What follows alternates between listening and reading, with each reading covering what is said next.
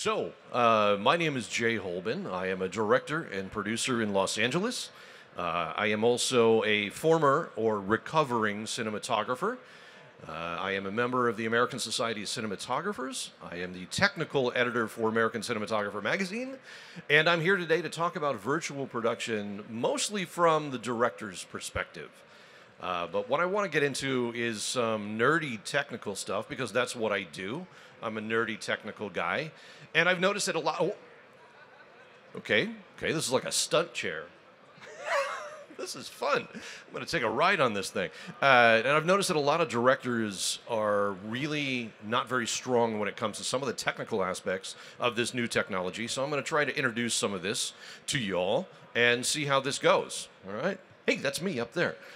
Um, so I have I had the opportunity, an extraordinary opportunity, to uh, be embedded with the production of The Mandalorian uh, in season one, and I spent four months. Uh, with this technology, specifically authoring a white paper for Lucasfilm and tracking the evolution of the pioneers of this technology. And I've had a chance to work with it quite a bit since. So um, the, a lot of what I'm going to kind of talk about as examples in here comes from Mando, uh, because those are the pictures that I had to throw in here. But here we go. The first thing that I want to talk about is what is a volume. This is a term that's thrown around a lot. You're going to hear it a thousand times or more here at the show, and it's not LED walls. What a volume is, is an area of motion capture. So it's surrounded by motion capture devices which create a volume of space in which motion is captured.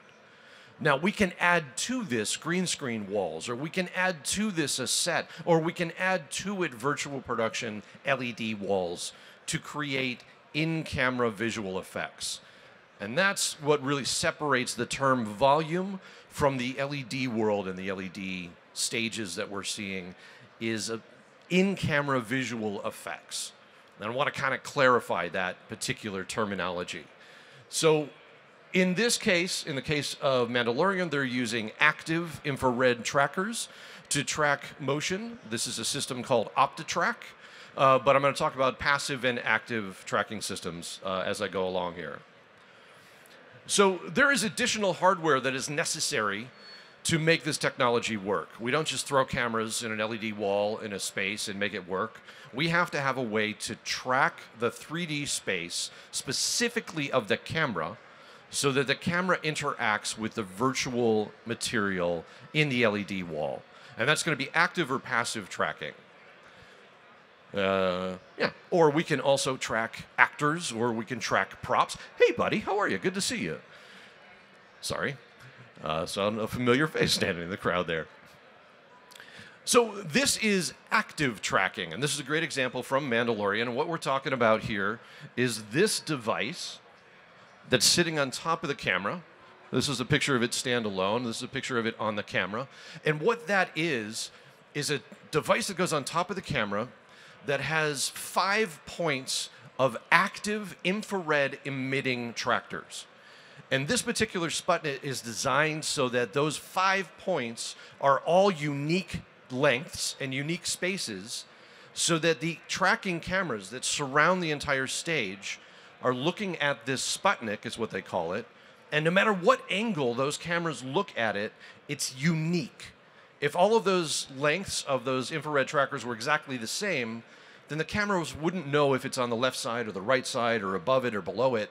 So it has to have a very unique shape to it. So it's different every time the cameras look at it. But it does mean that you've got kind of this spider thing poking out of the top of the camera that you have to deal with. So this is that additional hardware that, you know, sometimes can be a little bit of a nuisance, but you kind of get used to it. The other system is a passive tracking system. This is an example from a company called Mo-Sys. and what this uses is markers that are placed physically around the set, little stickers. In this case, all these are not lights in the ceiling, but these are all uh, reflective stickers that are placed there. And there's a camera put on the camera. That's what this little box is here. I get to run around on the stage here. And that looks at all of the positions of the stickers in order to be able to determine its position in 3D space. So again, we just have to have this additional hardware on the camera in order to track. So now we introduce LED walls, and this is really the exciting technology.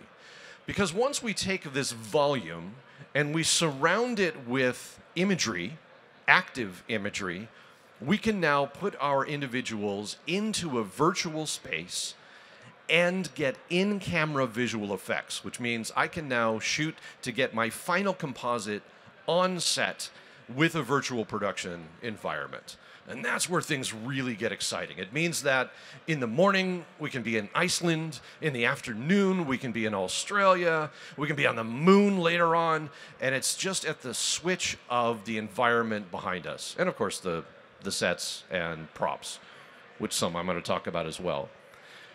These volume walls, and I'd say I use the term wrong, these in camera visual effects walls can be just a flat panel. They can be a flat panel with corners they can be a curved panel. They can include a ceiling and a floor. There's a lot of different options to create these in-camera visual effects. Um, it depends on the individual stages. If you guys get a chance to see the view stage here in Los Angeles, they've got a wonderful wrap and almost like a J shape to it, a beautiful large stage uh, with a ceiling that is also LED ceiling, but it's partially transparent so you can light through it, which is a really exciting kind of concept.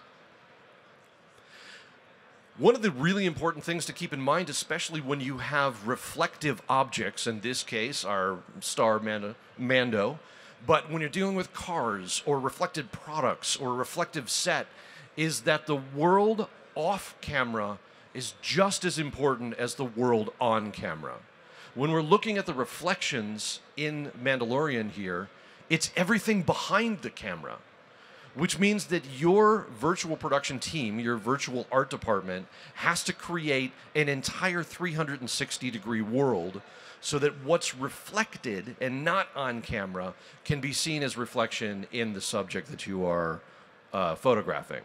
So that was one of the principal reasons why uh, Lucasfilm and um, the production of Mandalorian chose this technology was because they're basically dealing with a walking mirror ball and the way to deal with that, instead of having to composite locations and sets into this mirror reflection, they put it real world.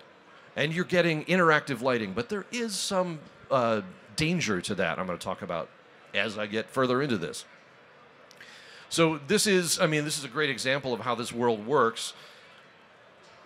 This is a uh, 70 foot wraparound LED wall with an LED ceiling. And you can see these two lights in the background. This is the opening to the stage, and these are panels that will move in and close that to become an almost complete 360 degree environment so that you get these interactive lights on the subject. And I'll talk a little bit about that in a couple of minutes. So the next terminology that we got to learn here, and I, you probably didn't know you were going to school, but that's what happens when you get me and show up and somebody gives me a microphone, is we learn the word frustum. And frustum is the field of view of the camera. But generally, when we talk about field of view, and I'm a lens nerd, so I talk about this a lot, but field of view, generally, we talk about it at the plane of focus. So when we are focusing on a scene at the plane of focus, that's our field of view. But when we talk about frustum, that is the field of view all the way to the LED wall. And this becomes incredibly important because, these walls, when we're talking about a 70 foot or bigger LED wall at 4K or more, take incredible computer processing power in order to create a real time virtual 3D world that will interact with the camera. So, because it takes so much power, the only place that we process a full true resolution image is in the field of view of the camera, in that frustum box. Everything outside of the frustum becomes a low resolution uh, sampling of the world, really just for reflections and interactive light. So this can be a little disconcerting when you first walk onto a stage because you see this internal box and this is the field of view of the camera. So this is rendered full 4K, beautiful, high resolution, and everything around it is in low resolution, and it can look a little strange. There's another aspect to this that when we move the camera, that frustum has to track with that movement. So if our system has too much lag or too much delay or too much, um, uh, what's the other uh, word for that? It's gone. Uh, I can't find it. Latency. Thank you very much. We're now interactive. Uh, if it has too much latency, then as I pan, it takes a second for that frustum to catch up to me. One of the things that kind of helped Mandalorian that had a 12 frame latency, which is a lot, was that the camera language of Star Wars is very deliberate and their movements are very deliberate. There was nothing that was aggressive. But if they had a scene where they had to throw a camera on somebody's shoulder and they were doing serious action, it wouldn't have worked. Now, technology has improved and processors have improved, and we can get some good interaction and good speed, but there's still that latency. Thank you very much for helping me with that. Uh, that we have to deal with in dealing with rendering the frustum. So, some of the cool things is that when we are prepping a project, the cool and not cool, is that so much more of our workflow happens in pre production. And this is hard for some directors because we have to determine exactly what the set is going to look like, exactly what we're going to see, sometimes months in advance before we actually get to shooting. So for directors who are used to showing up on location and saying, "Okay, you know what? I want to shoot over here, and let's move that table over here, and uh, let's get some rocks here," you can't really do that because all of this environment has to be created ahead of time, rendered and you know created in the Unreal World or in other uh, game engine. And so these decisions have to be made ahead of time. These decisions, like what time of day are we shooting this scene, sometimes has to be decided months ahead of time in order to prep the individual virtual loads. One of the great tools of prep that I got a chance to uh, be uh, experience on the ASC's STEM 2 project, the standard evaluation material, was TechViz. And for a director, this was super fascinating for me because we know what previs is, right? Everybody has dealt with or has a concept of previs where we are conceptualizing shots and what that final shot's going to look like potentially in an animatic or in 3D or in full rendered imagery. But TechViz is looking at the technical aspects of the entire set. So when I'm looking at TechViz, I'm looking at renderings of where my physical structure is, where my actors are going to be, where the camera's going to be, where the walls of the stage are, so that I could look at this and say, okay, I'm going to bring in a techno crane and I want to swing. Oh, I can't do that because oh, there's a there's a beam here. Okay, I can't do that. So we're going to move it here and we're going to move the virtual set instead. And I got to change my blocking. And I can plan all of this out in TechViz ahead of time and solve so many problems. This is a really dangerous chair. I'm going to end up on my bum, and you can all laugh at it when it happens. So, this is an exciting aspect of the prep now of virtual production. Some of the things that we have to decide in early on are our sky domes, and this is exciting because we can take a virtual 3D sampling of sky in any color I want, in any texture, in any clouds, and I can make that my world. And the Sky Dome generally is interactive on set. So I can say, okay, I'm shooting this scene. You know what? I don't like those clouds. Let's rotate this dome around. Oh, that's pretty. I like that. Looks like a little bunny in the cloud there. That's where we're going to shoot. And I get that interactivity while I'm actually on set. We have 3D locations, of course, and those 3D locations interact with our camera so that as we move the camera, the parallax position changes so that it feels like we're in that world. There's a lot of versatility to this. I can change locations uh, very quickly. Um, and of course, uh, there are some elements that work and don't work. These are some great examples of interactivity. We can also put tracking on actors and on props and on elements of the set. So in this case, it's a little hard to tell from this picture, but this actress has a flashlight in her hands. The flashlight is tracked with motion tracking and interacts with the 3D elements on the wall. So as the actor swings that flashlight across the LED wall, you see a virtual beam of light going through the virtual set. And that's like really kind of cool. In this, uh, ILM was experimenting with giving the actor control in the spaceship. So he's in the cockpit of his ship, and they put the motion tracking on the joystick, the control of the ship, so that as he moves, the virtual world interacts with him.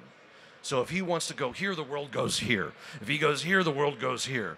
And it moves so the actor actually has control over what's happening in the environment behind him interacting. And that's pretty exciting as well. This is a really simplified case that we did on the STEM 2 project. We have a, just a 2D video plate behind the car playing a clean plate of driving. And then we put that 2D plate on a monitor in front of the actors so that they can see the road and, and react exactly with that environment. And as they're turning, we see the road turn, then we see it turn behind them. And that was really amazing for the actors. Instead of just being on a green screen stage and seeing nothing, they can feel like they're actually driving. Oh my God, here comes a bush, and interact with it. And that was pretty cool. So we have to have practical elements as well. We have to have set that we're putting in here. Anything that the actors interact with has to be real and hardcore. Okay, what's going on? Uh, so in this case, the doorway is real and is practical, but the environment behind him is not. So any doorway that we have that the talent goes through has to be practical because we can't walk through an LED wall that's going to hurt. We're going to send actors to the hospital. Um, but we have to introduce any props that they are interacting with practically. There's a problem, and it's there's some solutions for it, but if we introduce a second camera, because that frustum is generated through the computer, having a second field of view can be really, really difficult for the system to render. There are a couple of solutions to this. One is to put them at different refresh frequencies so that one camera has one sync and another camera has another sync. But that can be really, really disconcerting for your crew and your talent because looking at the screen can almost be nauseating to see these two sort of flickering images happening. So it's a problem that we're still trying to solve, and in most cases, when we introduce a second camera virtually, we're putting it the background so far out of focus and away from the rendered frustum, and that's kind of how we solve that issue. We're doing you know super tight close-ups or inserts or something of that nature. Two cameras is still kind of a tough deal. Movement of the camera I already talked about. Moiré is an issue. That is an interference pattern, sort of a dancing pattern that is created from uh, an interference of the pattern of these LED walls to the pattern of a digital camera sensor and so we have to have a, be a certain distance away from, with the camera from the wall and generally are putting it out of focus. So shallow depth of field plays very well in a virtual production environment. If you're somebody who wants really deep depth of field, you want that Citizen Kane look, this is going to be a very difficult technology for you to work with. Lighting from LED walls, this is this is kind of where Mando sold the wrong message to the industry because they sold the idea of we're lighting completely with this LED wall. We don't really need other lighting. That's not necessarily true at all. But unfortunately, the, the color fidelity out of these LED panels is not as good as the color fidelity of our professional motion picture lighting equipment. So we, if we're lighting purely with these LED panels and we're lighting humans, we can get skewed skin tones and we can get bad colors. And if you're doing commercial photography and you're lighting products, you can get in trouble because you're not rendering that product in the right color if you're using the LED panels. That's why we're incorporating concepts of uh, image based lighting utilizing professional motion picture lighting tools that are able to pixel map the imagery from the virtual world onto the lighting tools uh, and light with those instead. You can have some interactivity with light from the LED walls, but you need to be careful with it. Uh, okay, external lighting, there we go. One of the problems with the external lighting that kind of was frustrating to me is I am now beholden to the position of that physical LED wall with where I'm lighting. I can't put a light directly in, in front of my actor because if it hits the wall, then it's going to wash out the wall. So there's some limitations as to how I can light based on that LED wall being back there because I can't let any of my external light hit the walls or the whole gig is up. But there are incredible benefits to actors.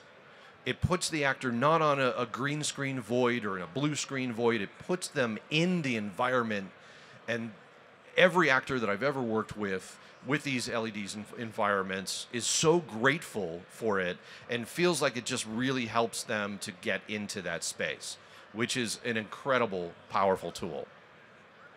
Uh, so, how do we incorporate LED walls? Well, set extension is one way of doing it. We have a little bit of practical world and then we increase that world in the background. One of the incredible, powerful things for it, for directors and cinematographers, is the fact that we can freeze time. So there's no longer the aspect of, we want to get this sunset. We got five minutes to get this sunset. Everybody's got to be here. Got to be ready right now. Let's do it. No, no, no, no. Come on, come on. Let's roll. We can freeze that sunset for 12 hours, for two weeks, for whatever we need, and have the perfect moment for as long as it takes to capture that scene. And that's what uh, Matt Reeves and Greig Fraser did here with Batman was to have this frozen uh, sunlight moment and to be able to get that exact light that they want. Uh, set extension is an amazing uh, tool. So again, on Mando, uh, these rocks here and here are practical. The floor and the mud is practical, but everything around it here is virtual. So we have a couple of elements that are near the talent that we can have that are practical to extend the world, and the rest of it is virtual. This in this image looks silly, but on set was an incredibly believable uh, visual experience, which is this is a practical set that's built, and this is the virtual extension of it. And in camera, it's seamless and it's perfectly parallax tracked so that as we move around the space we i wasn't shooting this i was only there but as they move around the spaceship the perspective changes perfectly and it matches so that they only have to build a portion of the set and all the rest of it is tracked with it. Uh, i talked about the lighting and the color fidelity uh, of led walls already and this is an issue and it was a big surprise Let's imagine that we are shooting a scene out in the desert. and We have beautiful red sand, right? So we send out a team to capture that environment photographically or photogrammetry. We put it in the background in our virtual world, and we have this beautiful, incredible red sand desert. And then our production designer comes in and throws red sand down on the stage to have the practical elements. It's exactly the sand from out on the desert. We brought it in in a truck so it matches perfectly, except in the real world, all of that sand everywhere is lit with the sun. It's lit with one source. But on the stage, when that sand gets close to the LED wall, it's now lit by the color of the red sand on the wall, and that biases the color of the red sand on the practical set. So now it doesn't look right and it doesn't match right. So there's a couple of techniques. Uh, there are some uh, production designers who are experimenting with desaturating color of practical elements as it gets closer to the wall. Sometimes if we put a little lip on that floor so that it's not actually lit by the LED walls, but it's lit by everything else, that can match. But it is something you have to be careful with. LED panels are incredibly reflective to sound. It's a wall. So if you have a certain configuration of an LED stage, it can be a perfect echo chamber. And man, that is difficult for sound uh, mixers and actors. It can be really disconcerting. So it's something when you scout a location and you're checking out that LED stage, check that sound and see if it's going to be an issue with you. I did this and it, there we go. Uh, stand in the middle of that and you kind of snap and see how much echo you're going to have and then talk to your sound mixer about how they're going to deal with that. And then this is not the end all be all technology. It's exciting technology. There's incredible power to it, but it does not solve every problem. It is not the solution to every production. It is expensive. This is not necessarily for uh, low budget filmmaking. This is not the solution to you know every issue that you have. But in some cases, this is a very, very powerful technology that is evolving very, very quickly. As you can see all around the show floor here, there's a lot of technology and a lot of uh, LED tech that's happening here. Whew, I think I actually made it in time. This is how you can follow me and stay in touch with me. This is my sales pitch. You can follow me on Instagram. You can ask any questions. I am always happy to answer. Um, and at that point, I will open this up if anybody has any questions. And I think uh, Rachel there has a microphone. Okay, don't everybody speak at once. That gets really awkward.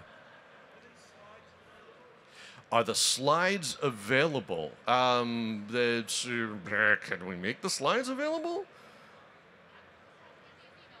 Yeah, absolutely. Uh, so talk to this lovely lady Just here. give and- your email afterwards, and we'll get that over to you. Great. Okay, again, not everybody all at once. Hey Jay, Hey! Oh, hey, hey! What's, What's up? up? while you're watching TV now, any movies, any shows, are you really able to notice when it's virtual production? What is the scale there? Yes. What Um, gives it away? It really depends on on how. oh, I'm gonna get myself in trouble here. Let, let me answer this one carefully. You were uh, tricky. Um, yes, sometimes, uh, and and one of the biggest telltales for me is contrast. So uh, a cinematographer will sometimes make the background uh, less contrast to simulate more depth, but that can also very quickly, to a trained eye, uh, get rid of the illusion, and it, it feels like it's pasted on. Um, that's it's kind of the biggest thing that's a giveaway, even on some of the biggest shows uh, that are utilizing this technology right now, where uh, I'll feel it. Uh, I'll look at it and go, okay, that didn't work. Um, Greig Fraser, who did the first season of Mandalorian and really kind of pioneered this, ha- really talks about the honesty of lighting and the honesty of the image, and in believing that particular image. And uh, I think that that is absolutely the ground level that we all should achieve or you know try to achieve is when I look at this picture, do I believe it? Do I just feel it? Does it feel truthful, even though it's all fake? Um, and yeah, some are not working so well. Oh God, it's gonna get me in trouble. Hey, right here, Jay. Hey, I had a what's up? question. So that you talked a little bit about like in the when you're doing two camera, and instead of doing multi-frustum, you can cheat a little bit, shoot it tighter, Yeah. get it a little out of focus. How are you seeing some of those workflows evolve? Where we say, hey, uh, this I'm going to do fully in the engine. This one I'm going to do plates. This one I'm going to do in two and a half D. How do you see these methods now that people have time to play with it, uh, kind of blend? it's all in evolution and all of that was stuff that i kind of wanted to talk about but i didn't have the time in here. Uh, things like when do we do a virtual entire 3d environment or when do we just do 2d plates? Like the car process that we were doing the, the very expensive poor man's process uh, is just video plates that are rendered into the unreal engine and there's no parallax because we don't ever have to really deal with it even for a little amount that we're moving camera. So i don't have to render an entire 3d world. We shot those plates and then just put them on the screen. Really it's about the interactivity of that world. If i have to move and get my parallax difference then that's when i need that 3d world. Um, I haven't seen anybody yet on a single screen combine 3D, 2.5D, and 2D.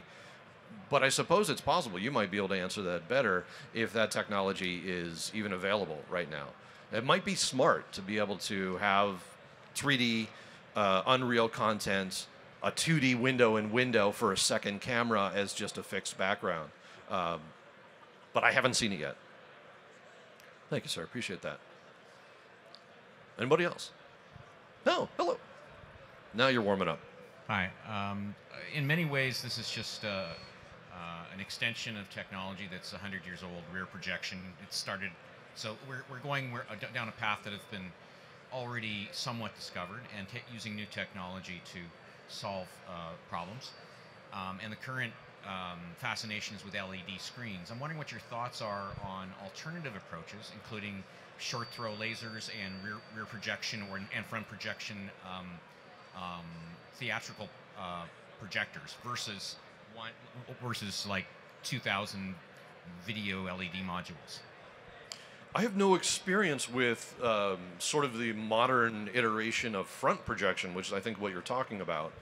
Um, and there are there are things that that required. And the same thing with rear projection. So there are limitations with rear projection. We have to match the entrance pupil of, of the projector and the camera. It's a fixed perspective. There's very little movement that we can do with that. So this is a great evolution of it. But you're absolutely right. And it's the first thing that George Lucas said when he walked onto the Mandalorian set for the first time. That, huh, yeah, we've been doing this a long time. This is rear projection. Like, okay, you just simplified, you know, multi-million dollar technology, but it's, exactly what it is. Front projection required a, a retroreflective screen that when you're putting the light onto your talent, it's very, very low, but it's reflecting back off that screen at a high reflectivity. And we would have to reintroduce that sort of 3M material in order to do that. I don't know anybody who's doing it. It's possible. Um, it's sort of an extension of what Claudio Miranda did on Oblivion, which is a, a white cyc stage and multiple video projectors that were projecting the clouds and not that was all above the talent and all above the set which is a very similar kind of concept and was incredibly effective also got great interactive lighting from that because you're reflecting the true value of that projected back in a P3 color space or a Rec 709 color space, whatever they, they chose there.